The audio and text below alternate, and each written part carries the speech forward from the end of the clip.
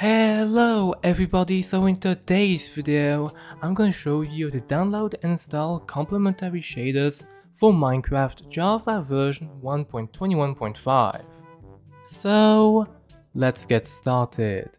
The first thing you want to do is go to your web browser, and I will have links in the description if you need them, but all you want to do here is just go to your search bar and search up modrinth like so. From there, you should see modrinth.com here, just click on modrinth and this will bring you to the modrinth homepage. From there, you want to go to the top of the website to discover content and you want to go down to shaders. From there, what you want to do, you want basically to look at two shaders. We have complementary shaders reimagined and we have complementary shaders unbound and this is two different styles of the same shader pack.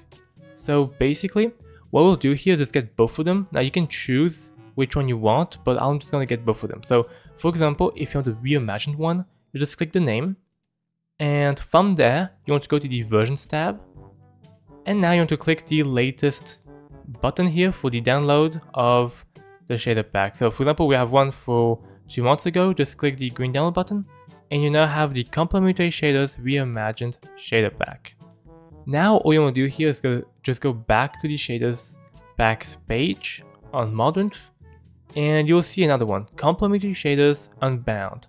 So just do like the other one, we just click the name and from there you click versions and now all you want to do is do the same thing. Just click the green download button for the latest shader pack. And now we have both of them. So you don't need both of them, but I'll just show you both of them either way. Now what you want to do is run the shader. And here says that it uses Iris or Optifine. We'll be using Iris, so to get Iris you just need to go to a new tab and you want to search up in your search bar Iris shaders like so. From there you should see Iris shaders.dev here, just click on Iris shaders and this will bring you to the Iris shaders homepage. Here all you want to do is click the download now button and from there you'll see download universal jar.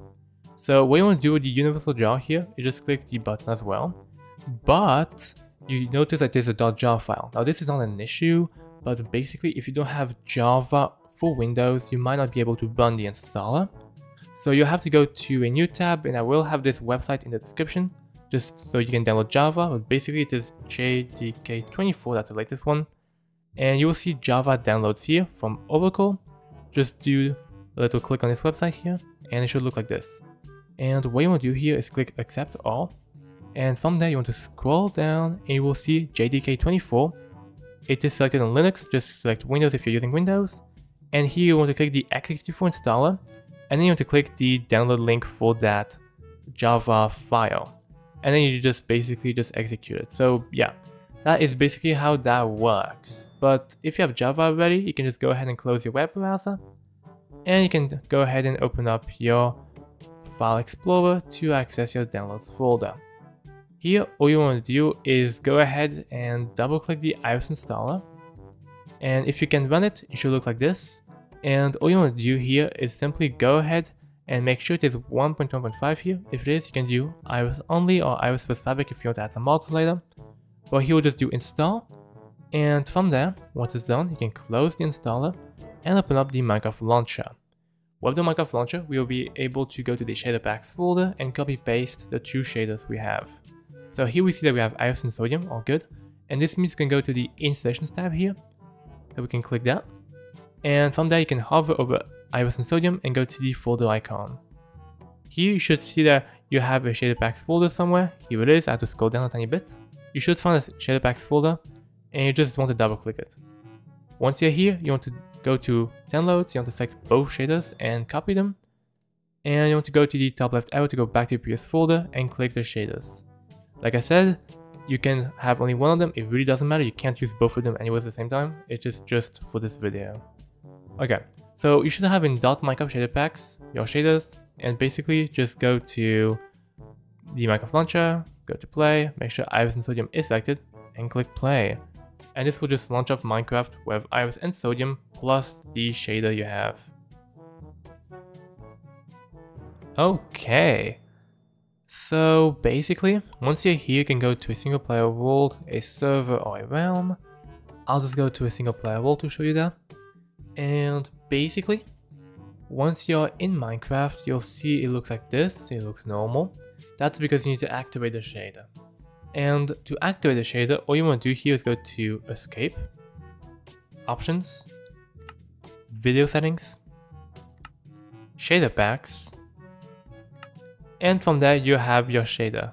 So like I said, we have both shaders here, so I can show you both shaders for example. So we can start by reimagined here. It will darken, and then we just do apply, and this will apply the shader to our game. So here is reimagined, and it looks like that. So that's the style for complementary shaders. Reimagined, looks like that.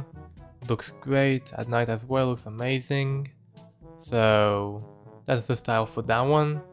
And the other one, Unbound, if we go back to here, we'll see Unbound, just click it, it'll darken and do apply. And now we're gonna switch shaders. And basically, it, it can take a while, it's, doesn't take that long.